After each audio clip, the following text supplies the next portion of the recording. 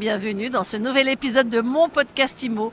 On est porte de Versailles au parc des expositions en live du Salon Rent et je suis avec Samuel Esaka Ekedi, directeur du développement de Villogie. Bonjour.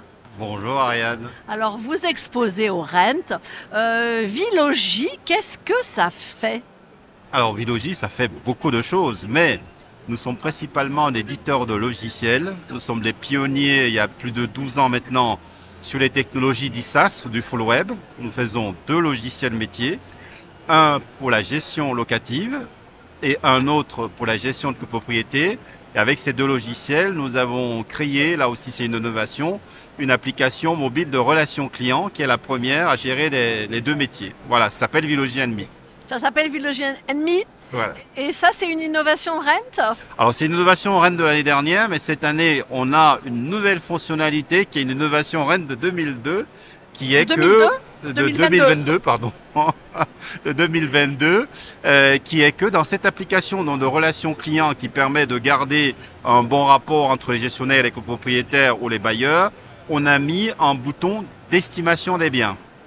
Parce qu'on s'est rendu compte que les gens qui gèrent un gros portefeuille, eh ben, la transaction, ils ne les voient pas passer. Donc l'idée, c'est de faire la synergie entre tous ces métiers-là, en tout cas dans un premier temps pour nos clients. Et alors, vous vous dites aussi que effectivement, il n'y a pas beaucoup de choses à vendre aujourd'hui, dans certaines zones en tout cas, et que pour capter euh, des mandats, ben, aller chercher dans son portefeuille euh, de c'est la, c'est la, première chose. Avant d'aller voir ce qui se passe dehors, on est surtout parti, nous on utilise beaucoup les données. On a essayé de comprendre, comme on est un logiciel de gestion, on peut voir très rapidement le nombre d'états datés, le nombre de mutations qu'il y a. Donc on fait des analyses, on dit, mais vous avez entre 3,5 et 5% de mutations.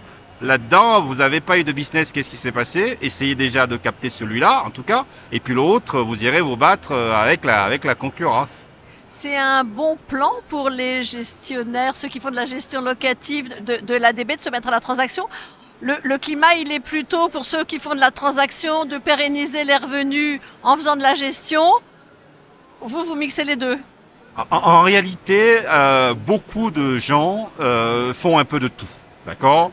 Euh, alors, il y a des métiers où il y a une barrière à l'entrée. Faire de la gestion de biens, l'ADB, il y a une barrière d'expertise, d'outils, de compétences, euh, de compétences sur la, la, comptabilité, par exemple. Nous, ce que nous essayons de faire, c'est de dire, vous êtes dans un point de vente, on vous apporte déjà des logiciels qui sont plus faciles que d'autres.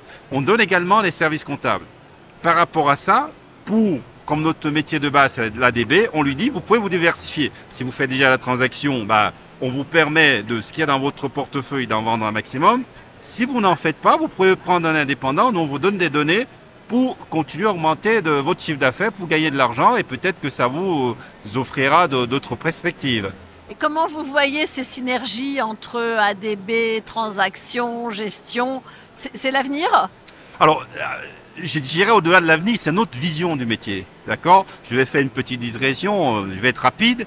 Euh, nous, notre vision, c'est de dire aujourd'hui, il y a toujours eu, pour plein de raisons, une segmentation du métier, mais nous, on voit dans l'avenir un professionnel qui connaît son secteur, qui connaît les immeubles, qui sait qui habite, qui connaît l'histoire des immeubles, et qui derrière a euh, un middle, un back-office, pour faire soit du syndic, soit de la transaction, soit de la gestion locative. Et, et, et, la concurrence, elle va se faire là, sur votre capacité sur le terrain, parce que tout le reste, on pourra le faire avec les logiciels en ligne, on pourra le faire à distance. Donc, nous, c'est vraiment vers là qu'on va. Alors, il y a des gens qui ont très bien compris ça dès maintenant, ils viennent avec nous, c'est des pionniers, mais l'idée derrière, c'est que le professionnel, il soit au cœur du projet de l'habitat et qu'il anticipe éventuellement ce qui va arriver. Finalement, vous contribuez un peu à abattre les cloisons entre les différents métiers. Ah, complètement. on pense qu'elles ne sont pas nécessaires, qu'elles ont été historiques, réglementaires, et maintenant la technologie offre des, possibilités qui permettent à tout d'envisager d'autres modèles économiques et opérationnels. De ne pas se cantonner à un métier, à une casquette. Surtout pas. Surtout pas. Moi-même, je suis, je crois, mon euh, quatrième métier. Alors, euh, bon, l'avenir, c'est l'hybridation, en fait. C'est l'hybridation, c'est des services. C'est en fonction des secteurs. Si vous êtes dans l'immobilier, vous allez suivre des gens. Euh, vous allez euh, accompagner les parents pour leur achat. Après, les enfants, ils vont aller à l'étude, il faut trouver des logements. Après, ils vont vouloir acheter. Après, ils vont être grands-parents, ils vont vouloir vendre. Vous devez être au cœur du projet de l'habitant de vos clients si c'est le métier que vous avez choisi. Donc, il faut avoir une vision à 360. 360. Avec des outils derrière pour vous accompagner et services et des compétences. Bon, alors, dernière question, comment je fais pour choisir mon outil? Euh, ben, Les bonnes nous- questions à me poser. Ah ben c'est la question que vous devez vous poser. Est-ce que je suis flexible? Est-ce que c'est facile à prendre en main? Parce que si vous voulez prendre un outil, on vous impose une formation de deux semaines. Il n'y a plus personne qui fait ça aujourd'hui. Euh, Est-ce que je peux quitter facilement? Est-ce que j'ai la possibilité, par exemple, le nombre d'utilisateurs illimité? C'est la flexibilité à la fois organisationnelle, à la fois financière et opérationnelle. Pour moi, c'est les clés. Si vous répondez à ça, faites vos choix. Nous, par exemple, avec nos outils, vous avez votre bureau en mobilité. Vous pouvez vous connecter n'importe où avec tout ce qu'il faut.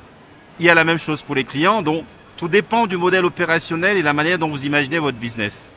Merci beaucoup pour ces conseils en tout cas. Samuel Esaka Ekedi, directeur du développement de Vilogie.